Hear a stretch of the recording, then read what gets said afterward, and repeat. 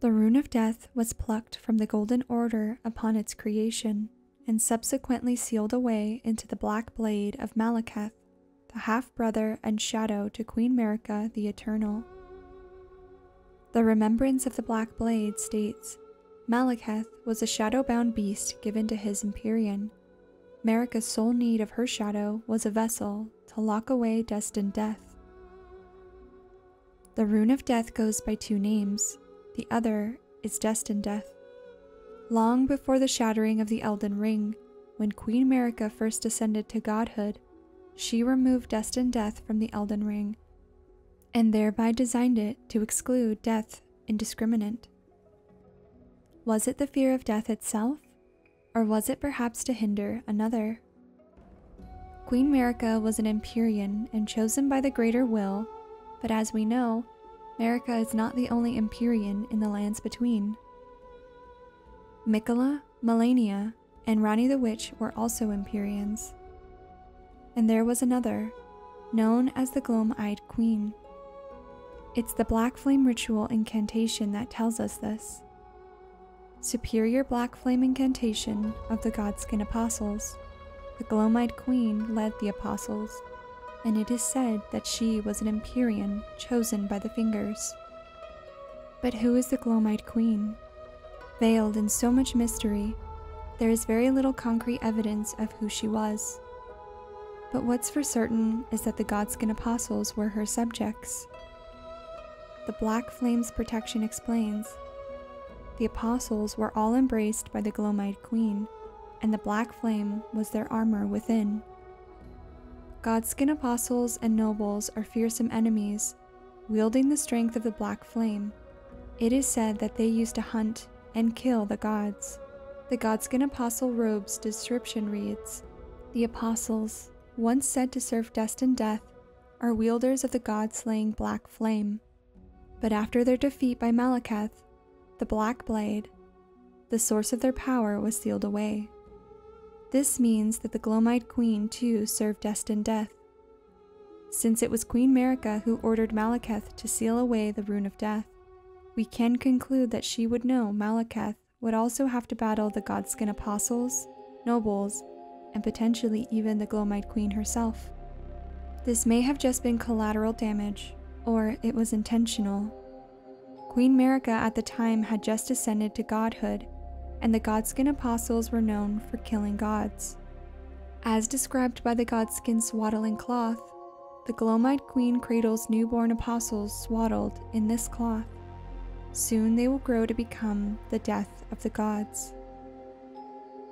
Marika had no intention of dying, but instead of killing the apostles just for more to be born and raised by the Gloam-Eyed Queen, she went for the source of their power, the Rune of Death.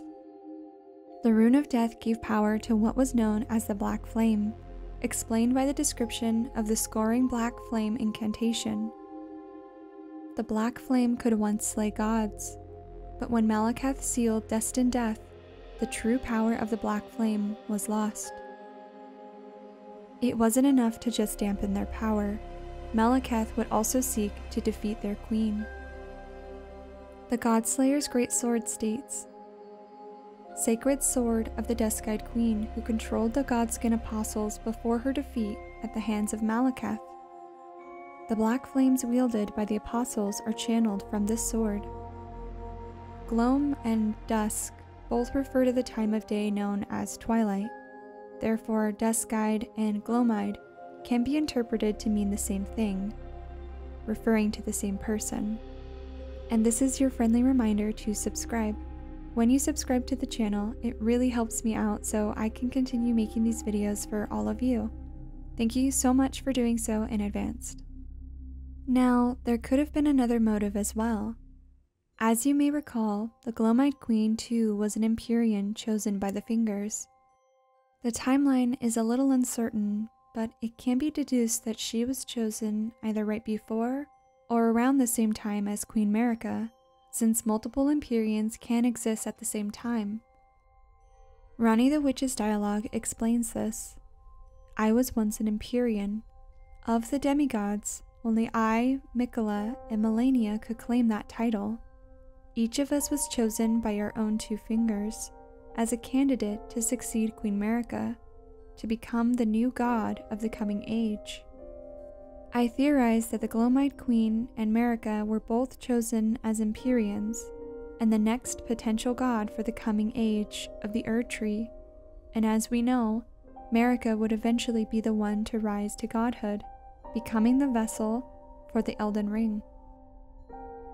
But Empyreans are still extremely powerful, especially the one whom they and their followers possess the power to kill a god. It can be theorized that Queen Marika wished to eliminate this threat altogether, and by sealing away destined death, she became Queen Marika the Eternal. As a result of her defeat, we could conclude that the Gloam-Eyed Queen is dead and holds no importance to the present day in the lands between. But there is a young woman who speaks of destined death with such familiarity it has caused many to speculate a connection. Melina, the one who first approaches you at the start of the game, and then again at the site of grace. Melina acts as the maiden for the tarnished and gives them the power to turn runes into strength but she is not an actual maiden, and therefore cannot provide you with any guidance. She appears and disappears in a similar way that Ranni the Witch does. Melina tells us, I'm searching for my purpose given to me by my mother inside the Erd tree long ago, for the reason that I yet live, burned and bodiless.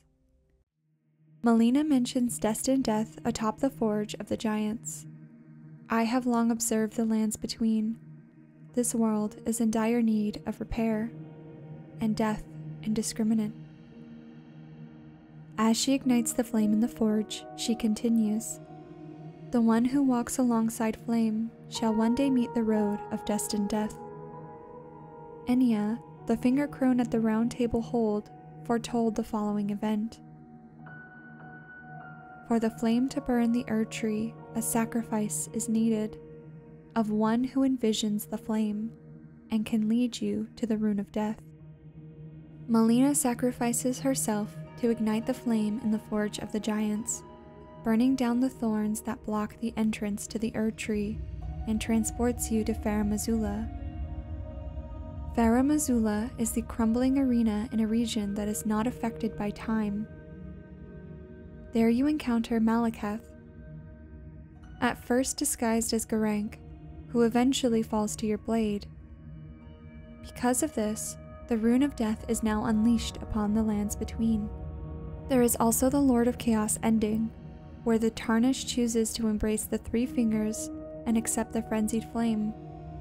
In this ending, Melina abandons the Tarnished, saying, You have inherited the Frenzy Flame.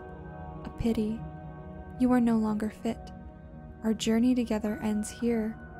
And remember, should you rise as the Lord of Chaos, I will kill you, as sure as night follows day. And when you finish the game as the Lord of Chaos, the following cutscene reveals Melina picking up the spectral steed whistle before it fades away and vowing to kill you. Lord of Frenzy Flame, I will seek you as far as you may travel to deliver you what is yours. Destined death. Melina's previously sealed eye has now opened and reveals a purplish blue iris, while her previously golden eye has turned foggy and gray. Melina is indeed intricately connected to the Rune of Death, but there are other clues and hints as to her mysterious origins. She can be summoned to fight Morgott, the Omen King, and has a weapon and skill set almost identical to the Black Knife Assassins. Her weapon is called the Blade of Calling. Its description reads Dagger given to one who set out on a journey to fulfill her duty long ago. The power of its former owner, the Kindling Maiden, is still apparent. The one who walks alongside Flame shall one day meet the road of destined death. I theorize that Melina is of the Numen people just like Queen Marika and the Black Knife assassins, confirmed by the Black Knife armor description. The assassins that carried out the deeds of the Night of the Black Knives were all women, and rumored to be Numen, who had close ties with Marika herself. The Numen rune also confirms this. The Numen are said to have come from outside the lands between, and are in fact the same stock as Queen Marika herself. But how does this tie in with the Gloam-Eyed Queen? Well, Melina and the Gloam-Eyed Queen are both closely related to Destined Death. Many have theorized that Melina is the Gloam-Eyed Queen, in her spectral form due to her death at the hands of Maliketh. She also has one eye that is sealed, similarly to the Rune of Death being sealed, and only opens after the Rune of Death is unleashed, and if she isn't sacrificed at the Forge of the Giants. But one important detail that sticks out is the matter of her mother. Melina talks of her mother multiple times, stating, I was born at the foot of the Erd tree, where mother gave me my purpose. Though now everything is lost to me, I have to ascertain for myself the reason for which I live. Burned and bodiless. My purpose was given to me by my mother, but now I act of my own volition. I have set my heart upon the world that I would have, regardless of my mother's designs. This has led many to theorize that Melina is in fact the daughter of Queen Marika. Not to mention the fact that Melina is able to recite words of Queen Marika in different locations across the lands between, further solidifying a connection between the two. Now, from here on out, this is total speculation, but I believe that both can be true. I believe that Melina can be Queen Marika's daughter and the Gloam-Eyed Queen. Empyreans can and often are related. Ranni the Witch, Malenia, Miquella, and Queen Marika are all related to one another. It is not so far fetched to believe that the Gloam-Eyed Queen would be related to Queen Marika in some way, seeing as she too was an Empyrean chosen by the Fingers. The question then becomes how was the Gloam-Eyed Queen related to Queen Marika? Some believe that she could have been Queen Marika's sister and the half sister to Maliketh. If this is true, then I do not believe Melina would be the Gloam-Eyed Queen. She may have been the Gloam-Eyed Queen's daughter, but it wouldn't make sense for Melina to refer to her mother in the Erd Tree if she was in fact Marika's sister. Others tend to theorize that Melina is Queen Marika's daughter before she rose to godhood. This makes more sense, seeing as to how Melina refers to her mother in the Erd Tree often, and shares the same golden colored eye. I believe that Melina was in fact the daughter of Queen Marika and the Gloam-Eyed Queen.